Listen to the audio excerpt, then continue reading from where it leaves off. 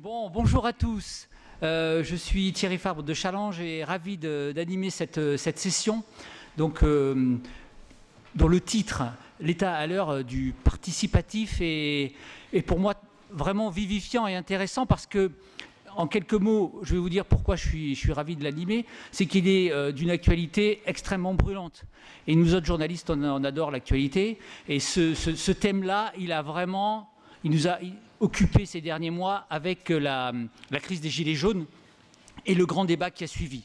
J'ai eu la, chance de faire euh, pas mal de, de, de, réunions de grands débats, puisqu'à Challenge, j'avais fait une, grande enquête là-dessus. Et c'était vraiment passionnant de voir ce qu'exprimaient les gens dans ce grand débat, Gilets jaunes euh, ou pas. Et, ils exprimaient une, demande de démocratie, et donc une insuffisance par rapport aux simples élections, donc vis-à-vis -vis de l'État ils demandaient, ils exigeaient une, il y avait une demande de proximité où euh, justement ils, euh, ils déploraient le, fait que l'État soit souvent lointain, euh, qu'il ferme des implantations, euh, et ils demandaient aussi une, exigence d'efficacité de, de, avec la et dénoncer la bureaucratie, le millefeuille administratif. Donc c'est vraiment intéressant de, de se pencher sur ces questions parce que c'est vraiment quelque chose qui est ressorti du grand débat et donc qui, qui concerne et intéresse nos concitoyens. Alors pour planter le décor beaucoup mieux que moi, je passe la parole à Patricia Barbizet, qui, est donc, euh, euh, qui fait partie du cercle des économistes et qui va nous poser ce sujet de façon beaucoup plus fondamentale. Et ensuite, je vous, présenterai au fur et à mesure nos, intervenants sur ce panel extrêmement diversifié. Patricia, c'est à vous. Merci Thierry. Alors, là, je suis tellement loin du micro que ça ne va pas être possible. Donc je vais me rapprocher. Je ne sais pas si vous m'entendez, mais je crois que ça a l'air très bien. Merci, bonjour à tous, merci d'être là. C'est la première session après l'introduction, euh, la session plénière. Et donc on a un sujet qui est particulièrement vaste, qui est l'État à l'ère du participatif. Alors, comme il me revient d'introduire le sujet, alors comme tout bon coordinateur, j'ai été regardé dans l'histoire qui avait déjà traité notre sujet. J'ai trouvé deux réponses. Au milieu du XVIIe siècle, alors que le Parlement discutait de la légalité de ses édits financiers, le jeune Louis XIV invoquait l'intérêt supérieur de l'État avec son célèbre, euh, sa célèbre formule L'État, c'est moi. Pas follement participatif, mais quand même. 150 ans après, ça s'est mal fini, mais c'était sa, vision. Et une autre, euh, une autre occurrence, au début du XXe siècle, en 1922, à l'issue d'un congrès du Parti communiste, Vladimir Lénine avait conclué son propos par une phrase qui est L'État, c'est nous. Pas follement participe non plus, mais c'était sa vision des choses. 70 ans après, ça s'est également mal fini. Vous n'entendez pas?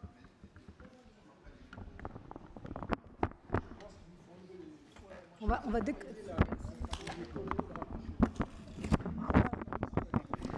Et ben voilà. Est-ce que, là c'est mieux? C'est mieux, mieux? Oui.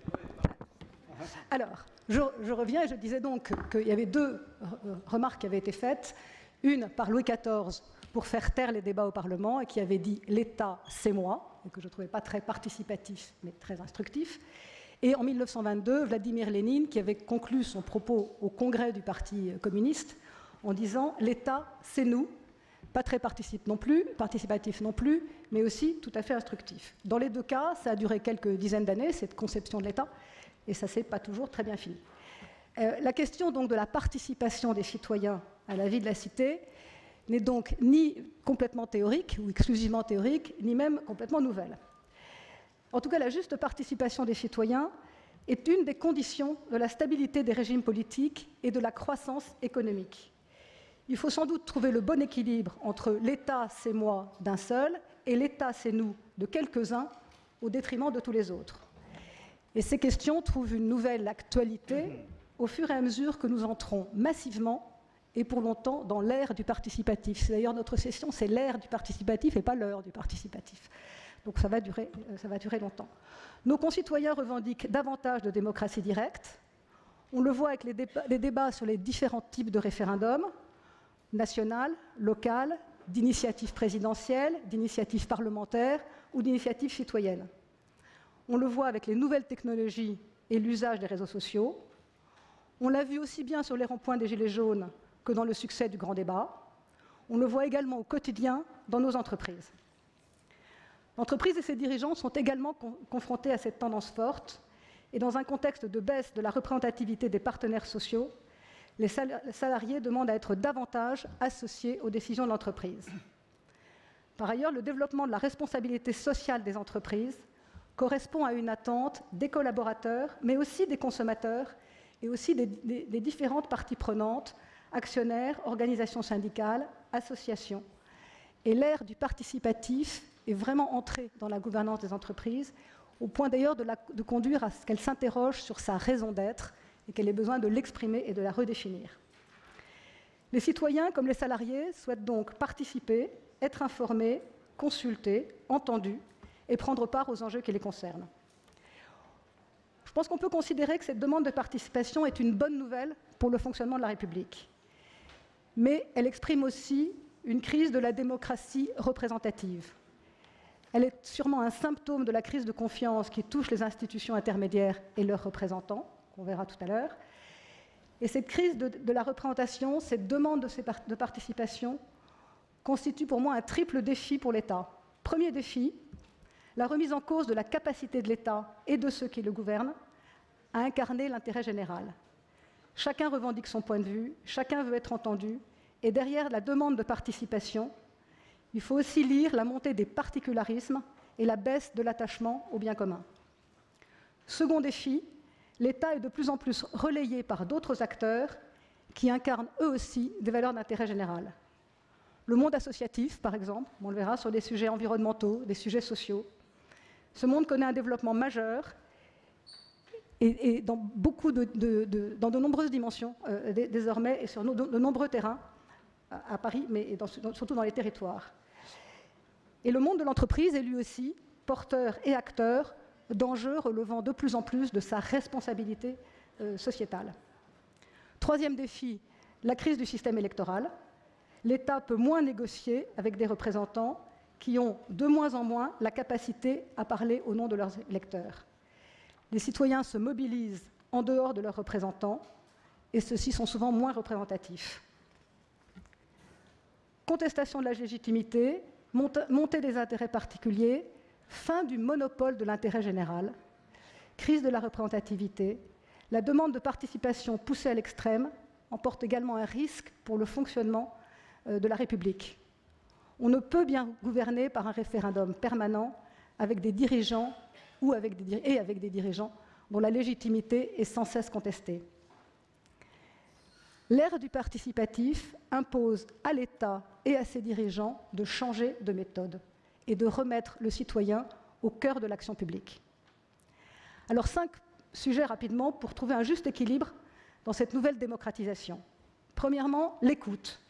Comment mieux écouter, mieux connaître, entendre et prendre en compte les attentes de nos concitoyens? Deuxièmement, la co-construction. Dans les politiques publiques, comment mieux associer les citoyens, favoriser la coopération, l'évaluation et la co-construction avec les différentes parties prenantes. Comment traiter le biais du participatif? Comment faire en sorte que ceux qui ne participent pas soient mieux associés? A contrario, comment éviter que le débat soit confisqué par quelques groupes surmobilisés? Comment s'assurer de la participation de tous les citoyens et de tous les territoires. Ensuite, les risques de la démagogie et du populisme. Comment construire un espace public plus participatif qui ne soit pas fragilisé par des mouvements d'opinion suscités par la défiance et la démagogie. Et enfin, comment tenir compte des opportunités et des risques des nouvelles technologies. Comment permettre aux citoyens de s'exprimer et de partager leurs idées sans pour autant favoriser la promotion des fausses informations ou la polarisation sur des positions extrêmes L'ère du participatif appelle une réflexion profonde sur la République et sur la démocratie.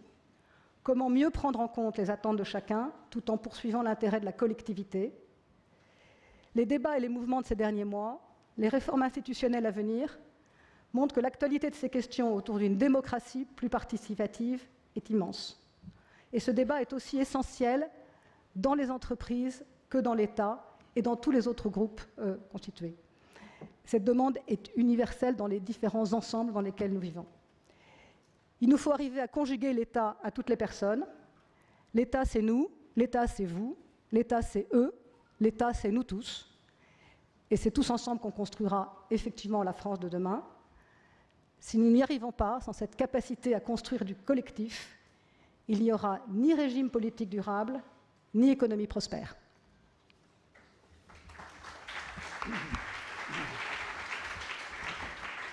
Merci beaucoup, Patricia, d'avoir euh, posé les, vraies questions, les, grandes questions de, ce débat. Alors, on va avancer dans ce, débat avec un, diagnostic que nous va nous faire Karim Tajedine sur la confiance. Pourquoi est-ce que les citoyens ont visiblement perdu confiance, et notamment dans l'État Alors, juste deux mots sur votre parcours. Euh, donc, parcours, vous avez une action au sein de McKinsey sur la transformation publique, donc vous connaissez l'État.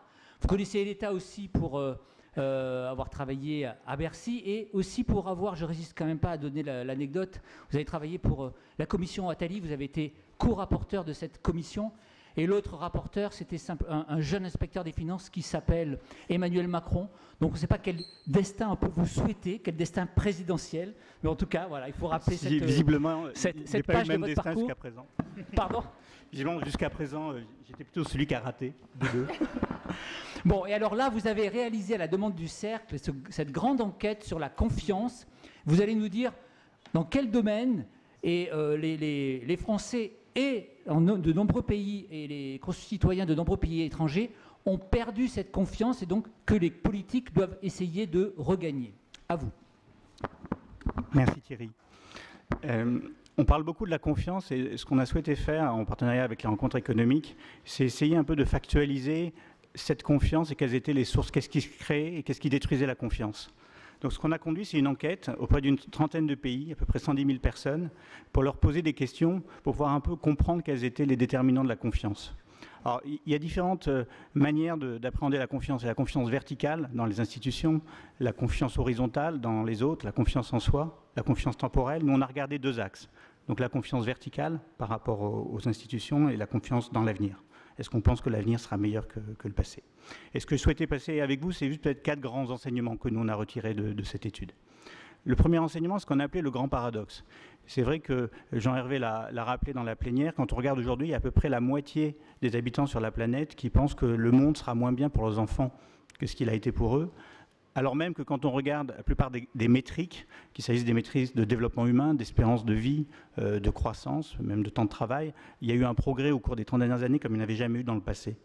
Et, quand on regarde de manière plus fine, on se rend compte en plus que cette euh, perte de confiance est d'autant plus forte que le pays va bien. Donc quand on regarde euh, en France, il n'y a que 21% qui pensent que euh, les enfants seront plus heureux que nous. Euh, quand on regarde en Europe, c'est à peu près un tiers. Quand on regarde en moyenne nationale, c'est 50 au niveau de la Terre.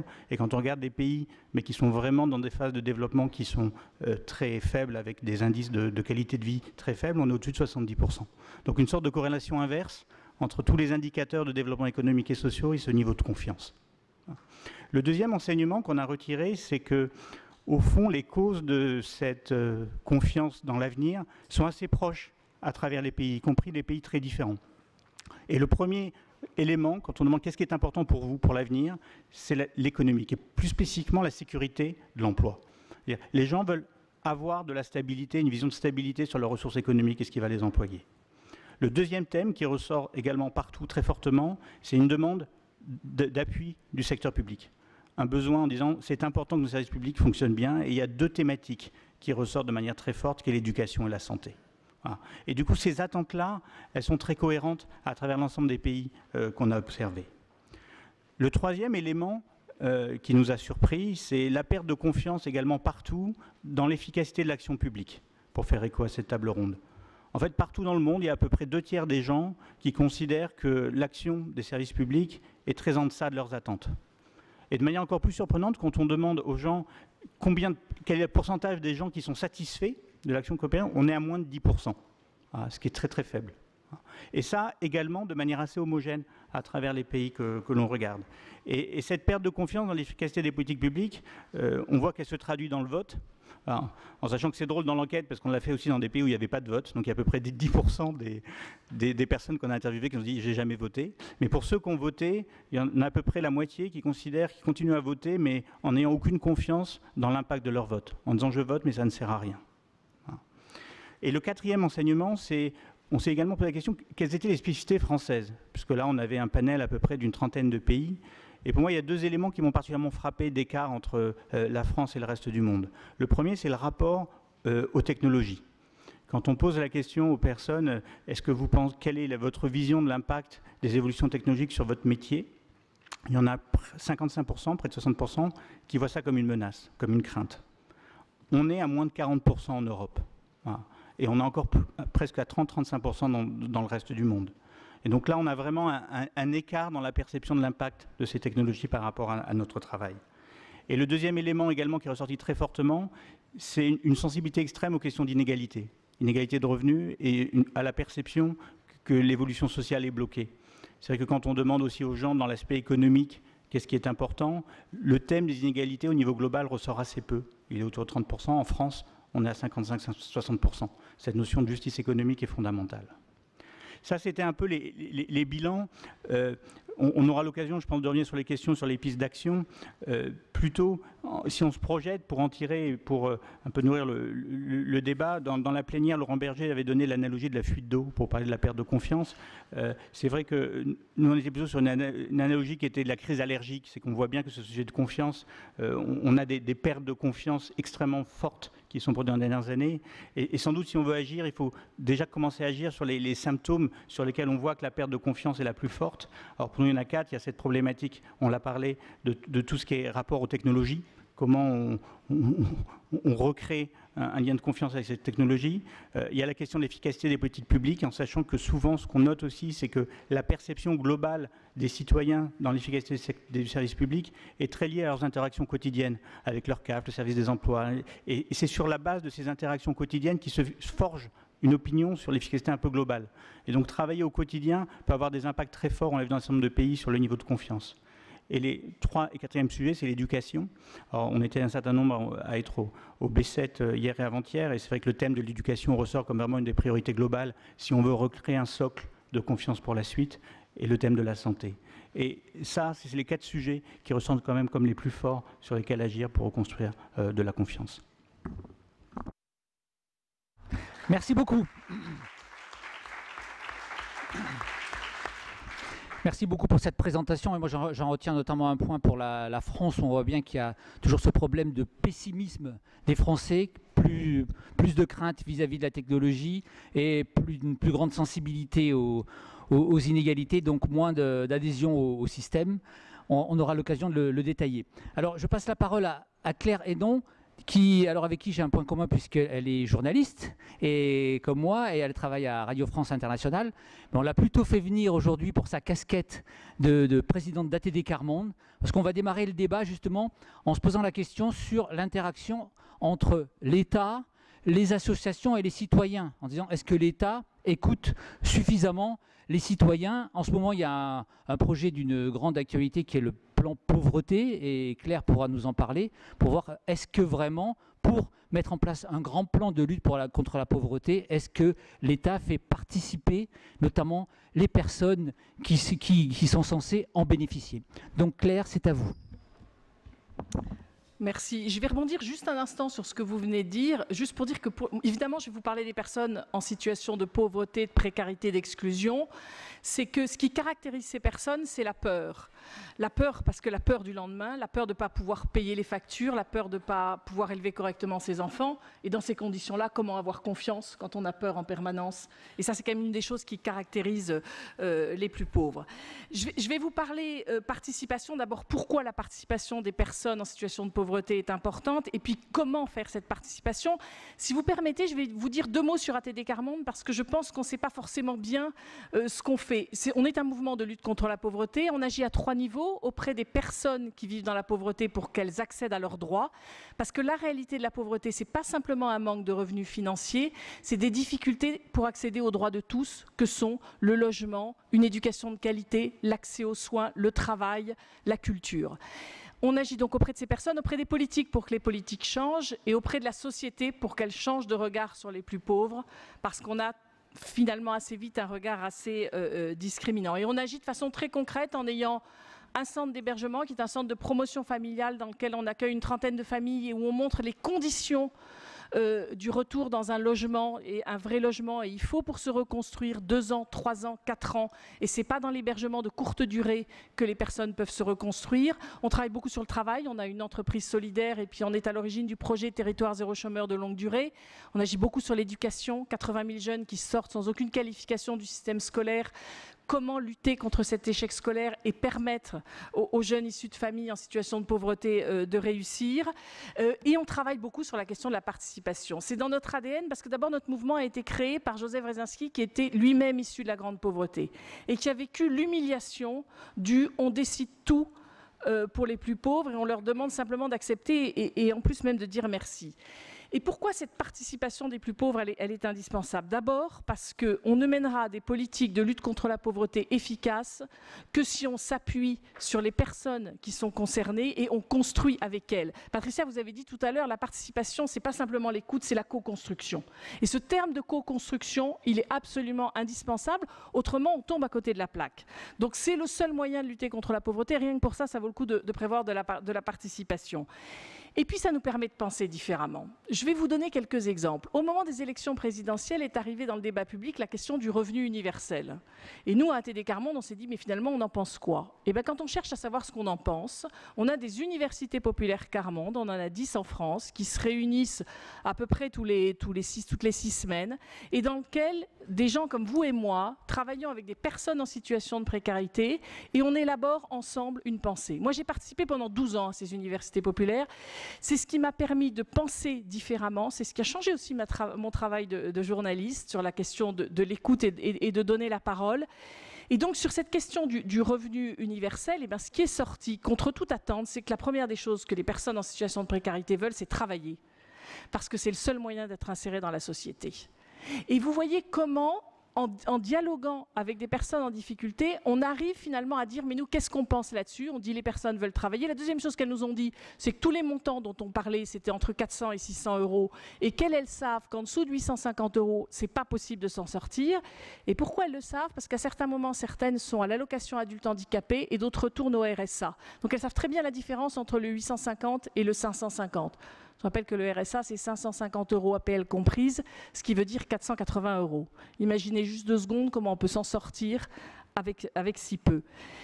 Donc cette participation, elle est indispensable pour élaborer une pensée. Mais maintenant, on fait comment et c'était le deuxième point de ce que je voulais vous dire, pour permettre à des personnes en grande difficulté de, participer. Moi, ce qui m'a frappé il y a 25 ans, quand je suis arrivée dans ce mouvement ATD Carmonde, c'est de me retrouver en face de personnes qui ont fait toute leur scolarité en France et qui sont en immense difficulté de lecture et d'écriture. Mais quand je vous dis ça, c'est-à-dire annonnant, ne comprenant pas forcément ce qu'elles lisent, et je ne parle pas de personnes étrangères, hein, de personnes euh, nées en France, et euh, ayant aussi de grandes difficultés d'écriture. Donc comment on permet à ces personnes de participer? Comment on est aussi convaincu qu'elles ont une intelligence à apporter? Quand on a préparé la rencontre avec le président de la République au mois de septembre, qui est venu dans notre centre d'hébergement à Noisy, une des premières choses qu'on dit, euh, l'ensemble du tour de table qu'on faisait avec des personnes en situation de précarité qui allaient le rencontrer, c'est on veut lui faire comprendre qu'on est intelligent. Je me retrouve il y a quelque temps à Dole dans le Jura dans une école de production où je rencontre des jeunes en grande difficulté scolaire qui euh, me disent la partie professionnelle j'y arrive mais dès que c'est scolaire euh, j'y arrive pas et pourtant je suis pas idiot.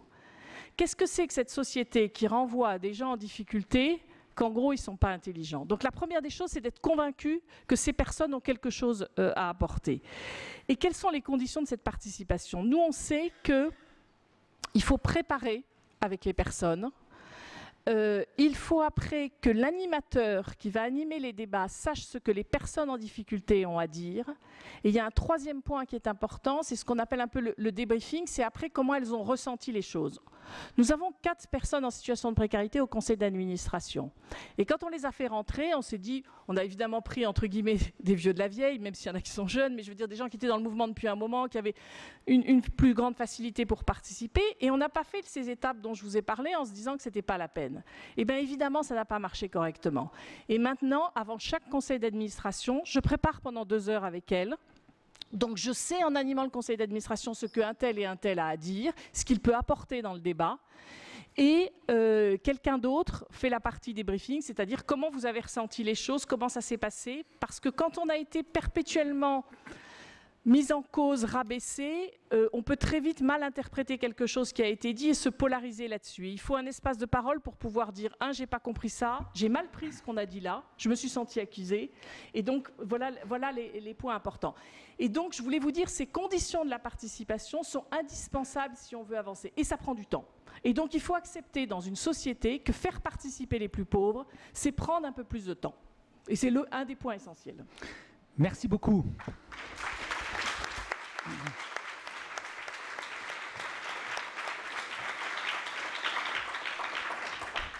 Merci vraiment pour votre témoignage. Euh, il y a plein de choses à retenir, mais moi, ce qui, me frappe, c'est que pour l'État, faire participer notamment les plus pauvres, ça peut être aussi un outil d'efficacité tout simplement. C'est-à-dire qu'on se rend compte à vous écouter que euh, euh, recevoir justement les remarques du terrain, ça, permet parfois de, ça peut permettre de faire des lois moins technocratiques. Alors, on, va changer euh, de, sujet avec vous, Stéphane Palaise, euh, pour parler des relations de l'État avec les entreprises. Et là, en se demandant si euh, l'État peut s'inspirer des pratiques des entreprises. Vous avez une carrière d'abord dans l'administration, notamment aux finances. Vous, avez, vous êtes resté une vingtaine d'années notamment représentant la France dans les institutions internationales. Et depuis 2004, vous, êtes dans le monde des entreprises, euh, notamment Orange au départ, et, là, vous euh, présidez la Française des Jeux. Alors, on, vous regarde en se demandant si vous allez ouvrir ou non le bal des privatisations. Je ne sais pas si vous allez pouvoir nous apporter une réponse aujourd'hui. Mais en tout cas, voilà votre... C'est pas le sujet, non. Enfin, si vous, avez une info, allez-y. Et, donc, on va plutôt vous demander de, connecter justement, de répondre à cette question sur est-ce que l'État peut regarder et s'inspirer du privé? Souvent on dit que gérer l'État, ça n'a rien à voir avec euh, gérer une entreprise, mais tout de même, est-ce que ça peut être une source d'inspiration? Merci beaucoup. Euh, voilà, donc je ne vous parlais pas de la privatisation de la Française des Jeux, euh, en tout cas pas maintenant. Alors sur, sur, la question qui est, posée, donc moi je, je, voudrais faire cinq points. Euh, comme nous avons 5 minutes, 4 à 5 minutes, 5 euh, points, et on verra euh, si j'arrive à les développer un petit peu. Donc le, premier point, c'est la question de savoir pourquoi est-ce que l'État a plus un problème de confiance que les entreprises. moi, ma, ma, conviction sur ce sujet, c'est pas seulement une question de différence de nature, bien entendu une différence de nature entre un État et une entreprise. Euh, je pense que c'est parce que euh, l'État ne euh, s'est pas tellement préoccupé concrètement d'entretenir la confiance. au fond, c'est ce, que, disait Laurent Berger dans la table ronde initiale il y a une espèce de fuite généralisée de la confiance, mais au fond, l'État ne regarde pas euh, les électeurs, comme euh, peut-être comme une entreprise, regardent ses salariés ou ses clients. Donc il n'est pas sans arrêt à se demander euh, si ça va, s'ils sont confiants, s'ils vont rester, s'ils sont contents, etc. Et à, alors on parlait de renouer le, lien, on, peut, on pourrait dire retisser, cultiver, entretenir euh, tous ces, euh, métaphores euh, manuelles qui expriment le fait que la confiance, en fait, c'est quelque chose qui s'entretient au jour, si se mesure, s'entretient dans la durée. Et donc, je pense que la différence entre l'État et l'entreprise, c'est que l'État s'en occupe finalement assez peu souvent. Il s'en occupe quand, bah, quand, ça va vraiment pas bien, c'est-à-dire au moment des élections. Voilà. Mais c'est peut-être pas, c'est peut-être pas suffisant. Mon deuxième point, euh, c'est quand même de remarquer que le moment où on demande à l'État d'être euh, euh, plus participatif, c'est aussi le moment où la frontière entre l'État et l'entreprise se brouille de plus en plus. Alors il y a ça se brouille de deux manières. L'une, c'est le fait qu'on demande de plus en plus à l'entreprise d'être citoyenne, de s'occuper de l'intérêt général.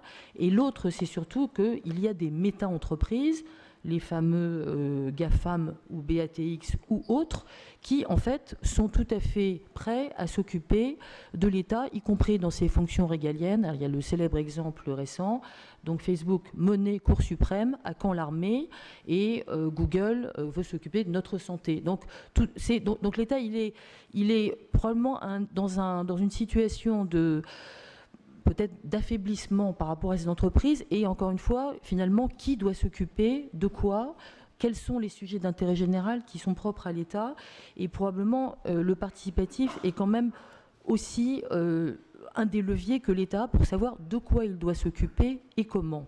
Parce que euh, je pense qu'aujourd'hui, le citoyen, effectivement, est assez, est assez perdu. Alors, pourquoi est-ce que les entreprises je ne pense pas qu'il faille donner de leçons euh, à l'État, mais pourquoi quand même je pense qu'elles sont meilleures pour entretenir euh, la confiance euh, par le participatif que l'État bah, D'abord, c'est parce que l'État leur impose des règles. Alors c'est ça qui est toujours très amusant, c'est que l'État nous impose énormément de règles en matière, évidemment, de concertation, de consultation des instances du personnel, de présence des salariés au, conseil d'administration, règles que personnellement je trouve tout à fait euh, pertinente, mais euh, d'une certaine manière, il nous impose presque plus que de règles de participation qu'il ne s'en impose à lui-même. Si les entreprises appliquent ces règles et même au-delà, c'est parce qu'en réalité, c'est profondément euh, nécessaire. Comme je le disais, les entreprises, de toute façon, elles ne, euh, dire, leurs salariés ne sont pas enfermés, leurs clients ne sont pas enfermés. Donc de toute façon, s'ils n'ont plus, confiance, euh, ils votent avec leurs pieds. Donc les entreprises, de toute façon, elles, font du participatif pas parce que euh, c'est pas parce que c'est à la mode ou c'est parce qu'en fait c'est un besoin qu'ont les entreprises, notamment on en parle beaucoup vis à -vis des salariés. Euh, donc pour donner euh, du sens, mais on pourrait aussi parler de ce qu'elles font vis-à-vis de leurs clients. Donc, et je vais bientôt m'arrêter. Donc les entreprises, oui, elles peuvent inspirer l'État sur, et peut-être qu'on en parlera plus euh, pendant ce débat, sur la manière dont elles mesurent, la, la confiance, la manière dont elles consultent, la manière dont elles donnent du sens, la manière dont elles expérimentent, la manière dont elles investissent dans la formation. Tout ça, ce sont des choses que les entreprises font plus ou moins bien, je vous l'accorde, mais dont je crois l'État pourrait s'inspirer pour être plus participatif et à la fin probablement être plus fort. Merci.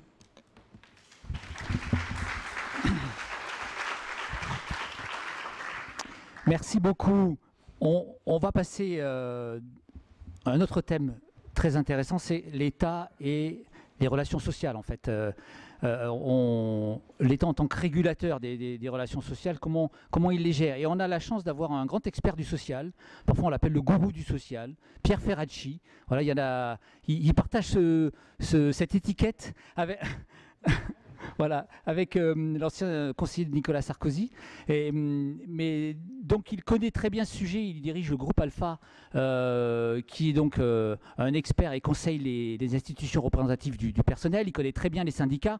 Et donc je pense qu'on il peut nous décrypter ce, sujet des, relations avec les, forces sociales qui est d'une brûlante actualité, puisque vous avez vu qu'il y a une réforme de l'assurance chômage qui vient de se faire, et elle s'est faite uniquement par l'État. C'est-à-dire que les, euh, organisations devaient la, négocier, elles n'ont pas réussi. Donc on, est dans un pays qui justement centralise beaucoup les relations sociales comparé à d'autres où elles sont vraiment au niveau des branches et de l'entreprise. Donc Pierre Ferracci, décryptez-nous tout ça. Bien, en quelques minutes, bonjour à tous. Euh, je vais essayer d'aller à l'essentiel. Effectivement, j'ai pris l'angle d'attaque de regarder quelles sont les relations entre l'État et les syndicats. Je laisse de côté les organisations patronales, mais j'en dirai quand même un petit mot quand même. Euh, et, du coup, je regarde aussi quels sont les problèmes aujourd'hui qui sont posés dans le rapport entre la démocratie sociale et la démocratie politique au sens large. Bon, notre président de la République n'a pas un goût immodéré pour euh, les corps intermédiaires, ça se sait. Euh, donc, il a visiblement pris les choses en main. les syndicats sont aujourd'hui confrontés à deux défis, les ordonnances et la fin du paritarisme. Euh, Thierry parlait de l'assurance chômage et de l'irruption de l'État dans le débat. Ben, il a tout repris en main. Il y a la formation professionnelle, l'assurance chômage, le logement social. Et je pense qu'il y aura sans doute un petit sujet sur les retraites complémentaires qui reste encore du domaine de la, gestion paritaire quand cette réforme va arriver. Euh, le président de la République a évoqué dans sa campagne et euh, sa ministre du Travail l'a évoqué également à quelques reprises le modèle scandinave en parlant de flexi-sécurité. Bon, la, flexibilité est arrivée avec les ordonnances. La sécurité doit arriver avec euh, la réforme de la formation professionnelle, mais qui va prendre un peu de temps. Avec la réforme de l'assurance chômage, mais qui irrite beaucoup les organisations syndicales, y compris Laurent Berger et la CFDT. Euh, le problème, c'est que quand on parle du modèle scandinave, on oublie que l'élément essentiel de sécurité, ce n'est pas seulement un bon système de formation et un bon accompagnement ou une bonne orientation, c'est aussi l'implication des salariés dans les conseils de surveillance. Alors je parle du modèle scandinave, du modèle allemand, rénan, euh, à 50% parfois, un tiers euh, dans des tailles plus petites. Et, la vraie sécurité commence par là, c'est-à-dire c'est une application dans le projet d'entreprise, pas forcément dans la gestion quotidienne, puisque ce sont des conseils de surveillance, mais une participation à la réflexion stratégique, au grand projet de l'entreprise, une anticipation des restructurations ou des mutations importantes. Et si je dis la vraie sécurité commence par là, c'est que si ce pan-là manque, ben, ce n'est pas la peine de parler de modèle scandinave, peut-être que la flexi-sécurité a une autre nature euh, dans notre pays. En tout cas, ça percute les, syndicats qui ont un autre problème à gérer sur lequel le gouvernement et, le président de la République mettent l'accent, c'est son rapport aux salariés. Euh, ce sont les rapports aux salariés des, organisations syndicales. Ils ne sont pas au niveau de défiance des organisations politiques, mais ils s'en rapprochent. Ils sont, à peu près au niveau des médias, mon cher Thierry, donc vous n'êtes pas loin euh, du score des, syndicats vis-à-vis de la population en général et des salariés en particulier. Et il y a un sondage très intéressant qui vient de sortir, je vous recommande d'aller le regarder, notamment sur le site de Michel Noblecourt, le journaliste du Monde, fait par l'association Dialogue, qui réunit une centaine d'entreprises, des organisations syndicales, quelques consultants comme nous. 85% des salariés souhaitent que les élections, les élections professionnelles soient libres au premier tour. C'est-à-dire qu'on puisse s'y présenter sans être attaché à une des cinq organisations représentatives. Et le chiffre le plus étonnant, c'est que derrière celui-là, il y a 69% des syndiqués qui pensent la même chose. Donc ils pensent qu'il faut que les non-syndiqués aient la, possibilité de se présenter au premier tour. Bon, sacré euh, challenge pour les syndicats, et ils ont intérêt à le relever, et je pense qu'ils sont en capacité de le relever, mais ça va être un peu compliqué, parce que si le système de scandinave marche bien ou le système allemand marche mieux, avec quelques ratés quand même, c'est parce que là-bas, il y a une confédération unique, et nous, on en a huit cinq représentatives, et puis les trois autres, l'UNSA, Solidaire et la FSU dans le secteur public, qui s'y rattachent. Donc euh, les, syndicats ont un défi aujourd'hui du côté du gouvernement, ils ont un défi aussi du côté patronal. Je ne suis pas sûr, en entendant euh, ceux qui sont chargés d'évaluer la mise en œuvre des ordonnances, et j'entendais récemment Marcel Grignard, l'ancien numéro 2 de la CFDT, Jean-François Pillard, l'ancien délégué général de l'UMM, qui laissait entendre qu'il n'y avait pas beaucoup, beaucoup d'innovation dans le dialogue social avec la mise en œuvre des ordonnances. Tout le monde est focalisé sur les moyens, la mise en place des CSE, qui remplacent les CE, les CHSCT et les délégués du personnel, et euh, il n'y a pas d'innovation, il n'y a pas d'utilisation des ordonnances pour changer un petit peu la donne. Les entreprises qui faisaient bien continuent à bien faire et même parfois améliorent euh, la qualité du dialogue. Celles qui étaient très en retrait, pour l'instant, en tout cas, ne se sont pas saisies du sujet de cette façon-là. Donc ils ont à la fois un enjeu du côté patronal, un enjeu du côté gouvernemental et un enjeu du côté des salariés. Ben, L'État, il a intérêt à bien réfléchir, parce que où il choisit de donner un cap qui nous amène à ressembler plutôt à ce qui se passe en Europe du Nord. Euh, le, schéma de flexi-sécurité et de participation des salariés à la gouvernance des entreprises, il a résisté à l'alternance, gauche-droite, et parfois même à des gouvernements libéraux qui ont essayé d'y toucher, mais qui ont maintenu euh, globalement le système. Donc pour un président qui est dans le en même temps, ça devrait être euh, un facteur d'attractivité. Mais je pense qu'on a toujours l'art d'inventer la troisième voie dans notre pays, entre un modèle anglo-saxon et un modèle scandinave, on ne choisit jamais. Et en général, on est plutôt rattrapé par les marchés que par une forme de dialogue social pertinente et, constructive. Bon, moi je pense qu'une des formes que pourrait prendre demain le dialogue social, entre guillemets, si ce problème de cap stratégique n'était pas tranché, ben, c'est quelque part une irruption du type gilet jaune dans l'entreprise. Alors, avec les côtés positifs qu'ont eu les gilets jaunes, a un certain nombre d'aspirations euh, parfaitement respectables et de revendications qu'ils ont portées, avec un certain succès. Ils sont emparés d'une revendication syndicale par excellence, le pouvoir d'achat. Ils y ont mis une dimension que les syndicats oublient souvent, qui est la dimension fiscale. Alors, dans le désordre, en partant un peu dans tous les sens, de l'ISF aux taxes, et ça a renvoyé aussi à l'hétérogénéité du mouvement des Gilets jaunes. Et puis, il y avait des choses parfaitement euh, inacceptables et irresponsables. Et euh, qui ont amené d'ailleurs euh, les Gilets jaunes à perdre de leur popularité. On peut avoir ce type de phénomène dans l'entreprise.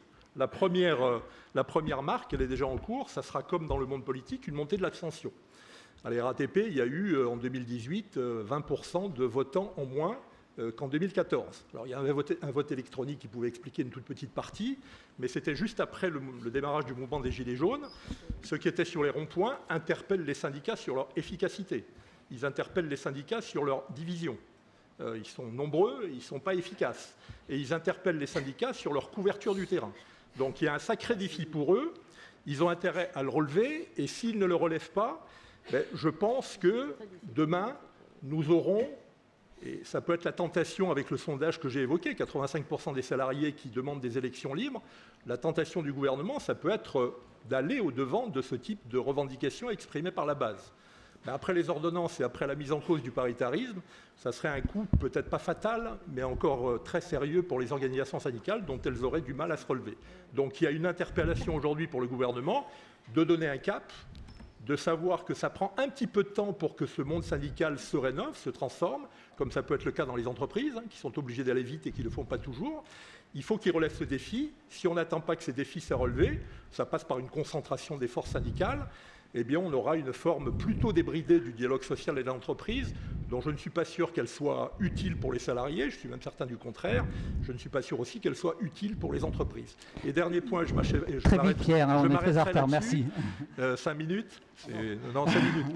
Et je m'arrêterai là-dessus. Le président de la République a dit à plusieurs reprises que les syndicats n'avaient pas à se mêler de l'intérêt général.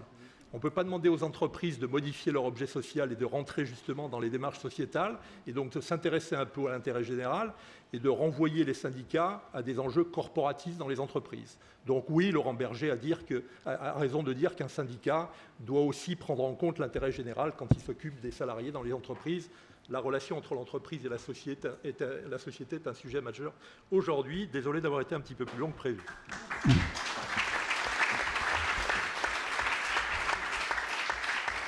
Merci beaucoup, mais c'est le discours passionné qui vous a fait déborder, c'est pour la bonne cause. Donc, euh, Dominique Régnier, vous avez la lourde charge de faire une forme de conclusion.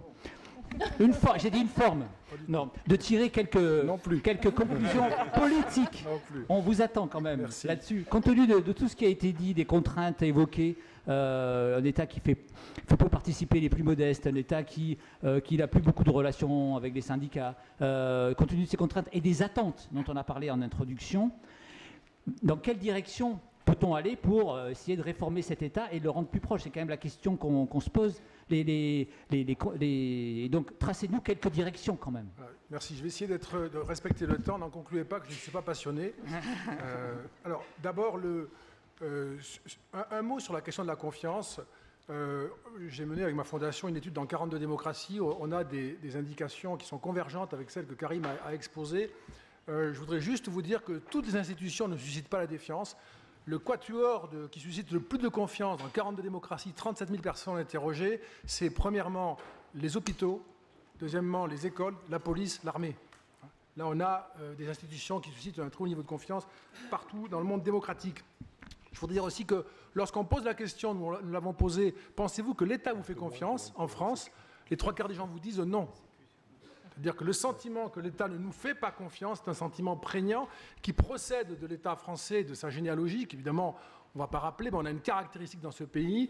Euh, L'État français a eu un rôle clé dans l'institution de la nation française. Ce n'est pas le cas partout, c'est le cas chez nous. Euh, il en a conclu que c'était son rôle euh, définitif. Et j'ai encore vu d'ailleurs récemment l'interview d'un grand commis de l'État qui avait l'air de penser que c'était toujours la vérité, mais les, changements sont si profonds dans la société actuelle, si puissants que euh, finalement il est possible que ce ne soit plus le cas, je crois moi que ce n'est plus le cas. La globalisation, l'encastrement des loyautés dans toute une série de, communautés qui sont locales, nationales, globales, enfin on ne va pas le répéter, c'est très connu. La communication euh, massifiée, le savoir médian massifié, le savoir de pointe a toujours été globalisé, mais le savoir médian ne l'a pas toujours été, c'est le cas. L'érosion des statuts euh, en tout domaine, la société en fait est à la fois perturbée mais aussi en mouvement. Et ça c'est un point qui, euh, qui est problématique parce que ce mouvement, c'est un gisement de ressources dont l'État ne tirera pas profit s'il regarde, comme il a tendance à le faire, toute innovation comme une désobéissance. Ce qui est une forme de regard que l'État porte presque a priori sur les innovations sociétales. Et quand on pose la question de savoir est-ce qu'il faut gérer l'État comme une entreprise, moi je crois qu'il faut dire surtout pas. Hein. Gérer l'État comme on doit gérer l'État. hein. mais laisser les associations, laisser les entreprises prendre en charge, en tant qu'association, en tant qu'entreprise, des objets qui peuvent être aussi d'intérêt général. Et renoncer à cette prétention un peu curieuse, un peu dépassée, assez aristocratique, d'avoir le privilège de la moralité. Hein. Les institutions privées, les, associations, les entreprises ont aussi euh, le sens de l'intérêt général. Cela se voit, alors, de toute évidence, je ne vais pas le documenter, euh, partout, chacun peut le constater. Euh, par contre, leur euh, liberté d'action est souvent entravée par cette défiance que l'État éprouve à l'égard de la société qu'il pense, c'est l'État français encore une fois, qu'il pense devoir conduire contre ou avec son gré. Et s'il faut le faire contre, l'État français est assez enclin à mettre en place des structures plutôt disciplinaires. Euh, et puis, euh, au fond, euh, le, rôle de l'État dans, ce jeu de défiance et de confiance, je dirais, il est, il est faux de deux manières. Il est d'abord faux parce qu'il y a cette défiance qui prive l'État et la société française de ressources considérables de créations considérables. Mais il est faux aussi parce qu'on a toujours besoin, et peut-être plus encore aujourd'hui, de ce regard souverain qui est celui de l'État. Une capacité que lui seul peut avoir à regarder très loin, à regarder très grand, à saisir l'ensemble euh, des intérêts et des principes et à agréger tout cela euh, dans une conception qui, malgré tout, demeure souveraine, hein, supérieure, qui est une conception de l'intérêt général. Et pour euh, terminer là-dessus, je reprendrai l'exposé de, je, réagirai à l'exposé de, Claire Edon. Claire, j'ai déjà dit ça en ta présence, mais je le redis ici au fond, l'État devrait nous aider à définir ce que c'est que la justice sociale. Je termine en, question, hein, c'est cet aspect-là. Qu'est-ce que c'est que la justice sociale? Est-ce que c'est dépenser beaucoup de moyens, beaucoup d'efforts pour réduire les inégalités entre des personnes qui ne sont pas pauvres? Ou est-ce que c'est tout faire pour qu'il n'y ait plus de grande pauvreté? Ce sujet compliqué, c'est à l'État de le prendre en charge dans sa souveraineté, à le poser philosophiquement et politiquement et à le trancher. Vous le voyez bien, on n'a pas tranché ce sujet-là. On fait les deux. Il y en a un qu'on réussit mieux que l'autre. La réduction des inégalités entre les personnes, j'ai vu moi que j'avais pas de temps, je l'ai vu. Euh, la, réduction des inégalités entre les personnes qui ne sont pas pauvres, eh est beaucoup plus efficace en France que la lutte contre la grande pauvreté. En tout cas, il me semble que c'est un sujet pour l'État. Voilà.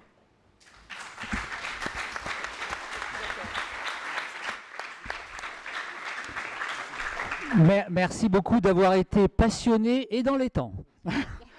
Alors, euh, je crois qu'il y a une question d'un étudiant. Est-ce qu'il est là? Est-ce qu'elle est là? Oui Allez-y. Bonjour.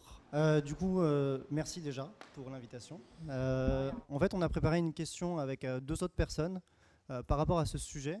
La question est la suivante, et c'est est-ce que le monde politique est prêt à accepter plus de participatifs que ce soit euh, un référendum d'initiative citoyenne, euh, des assemblées qui peuvent être euh, choisies aléatoirement, comme on peut retrouver actuellement dans le monde juridique. Est-ce que l'État est prêt finalement à donner une part de, sa souveraineté, de, son pouvoir à des assemblées, à des citoyens? Merci beaucoup pour cette question d'actualité. Alors, il n'y a, a, pas d'homme politique pour vous répondre à la tribune. J'en vois dans la salle, peut-être qu'on fera passer le micro tout à l'heure. Mais euh, peut-être Dominique Régnier, est-ce que euh, vous, vous êtes un analyste de la vie politique à la Fondation pour l'innovation politique J'ai été candidat en 2015. Hein, et oui, quand même, il faut aussi dire qu'il a fait une hein. tentative. quand même. Une tentative. Bon, pas super fructueuse, mais c'est pas grave. Passionnante. Euh, mais on n'a pas le temps.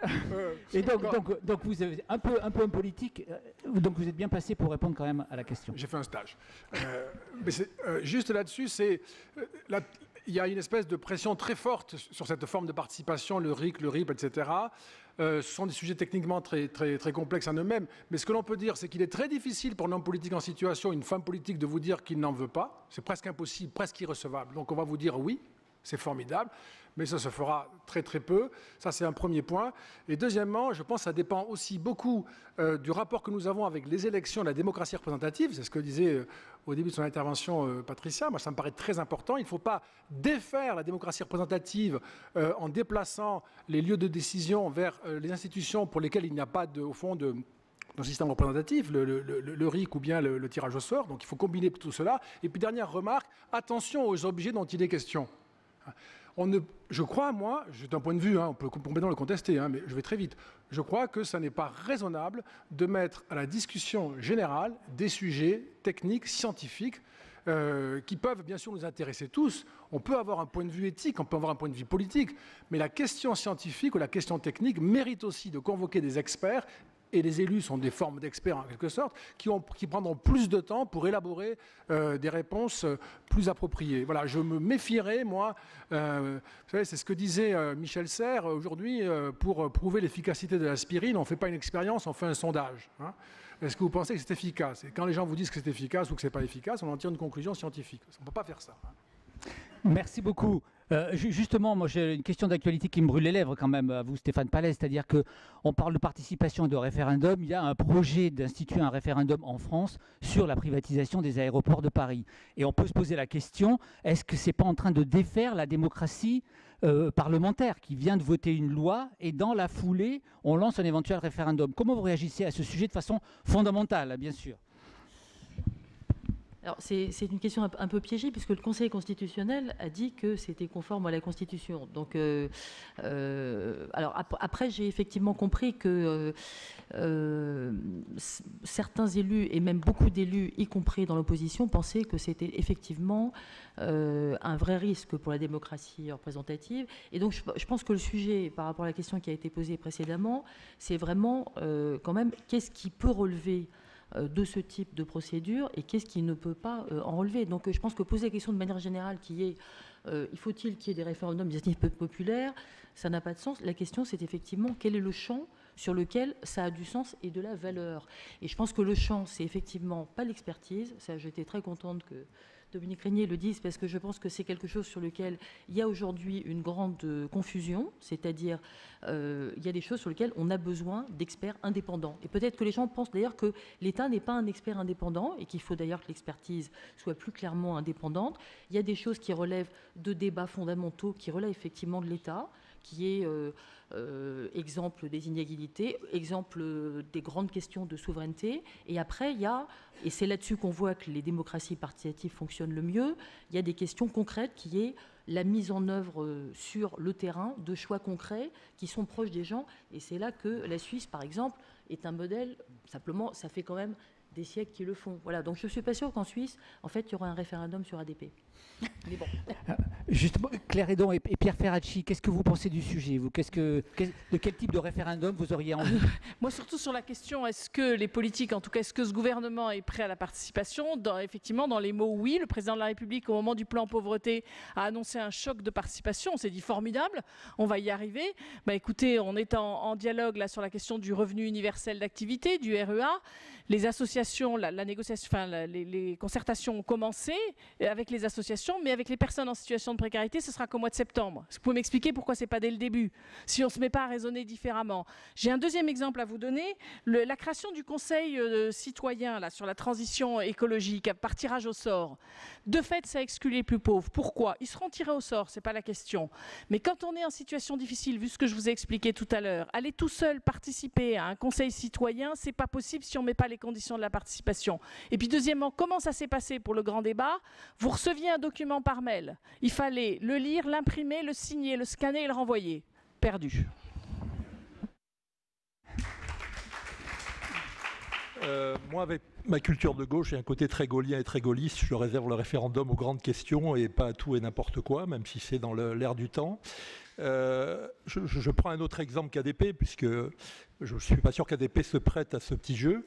Mais euh, ce que fait l'État, par exemple, chez Renault ou chez PSA, quand il a 15 ou 20% du capital, et quand il a un choix à faire sur le rapprochement avec Fiat ou euh, le rapprochement avec Nissan, est-ce qu'il vaut mieux impliquer le conseil d'administration, les syndicats des entreprises concernées, avec là une vraie démocratie sociale qui joue et les partenaires sociaux qui jouent le rôle, ou faire un référendum là-dessus avec euh, euh les trois quarts de la population, en étant gentils, qui vont passer complètement à côté, et personne ne leur en voudra. D'ailleurs, on a tous nos, incompétences à, gérer.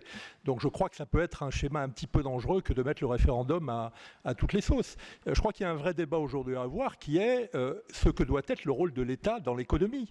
On prend le, point, que j'ai évoqué. Bon, c'est bien de contester les partenaires sociaux dans la gestion de la formation professionnelle. Ils n'ont pas fait que des choses bien. Ils se sont un petit peu éloignés du terrain. Ils ont oublié les chômeurs et les, moins qualifiés. Et je crois que l'État est dans son rôle euh, pour, pour prendre ça en main. Il faut voir si demain il fera aussi bien ou mieux. Je veux dire, c'est pas aussi évident que ça. Hein. Je veux dire, ils rentrent sur des terrains qui sont pas aussi faciles que ça à appréhender quand on s'appelle l'État et qu'on a des moyens d'expertise et de compétences qui sont pas, euh, qui, permettent pas forcément de couvrir tous les terrains. Donc, au lieu de prendre aujourd'hui la question du référendum en, tant que, en, tant que, tel et de se précipiter sur le premier sujet, qui est un sujet d'importance, hein, la privatisation d'ADP, je pense qu'il faudrait contourner un peu le débat et avoir, avec l'opinion publique, avec le peuple, une vraie réflexion sur ce que fait l'État, ce qu'il ne fait pas. Les tâches régaliennes, ça évolue au fil du temps. Hein. Ce n'est pas figé, ce n'est pas seulement la sécurité, la santé, l'éducation. Dans certains cas, ça peut être l'économie. Quand il s'agit de défendre un secteur mmh. stratégique, moi, j'ai aucun problème avec ça. Mais ce débat de fond, il faut qu'il ait lieu. Autrement, on va picorer avec des référendums qui vont, à mon avis, développer plutôt des forces populistes que l'implication des, des citoyens dans la gestion du pays. Merci.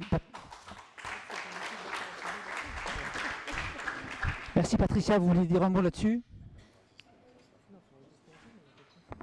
Juste pour reprendre la, question telle qu'elle avait été formulée, est-ce que les politiques ils sont prêts Et, au-delà, en, partageant d'ailleurs tout ce qui a été dit euh, précédemment, je pense que les politiques, ils ont pris conscience que ça ne pouvait pas rester comme c'était et qu'ils avaient effectivement, alors est-ce que c'est l'évolution du temps, est-ce que c'est la démocratie participative et les réseaux sociaux, est-ce que c'est toute forme de, changement, est-ce que c'est les gilets jaunes, est-ce que c'est tout le reste?